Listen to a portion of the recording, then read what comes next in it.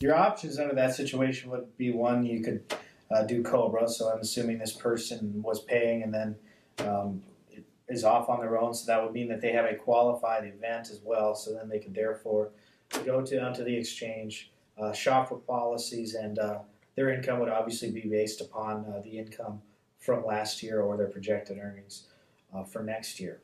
So again, they would be a qualified event in this situation.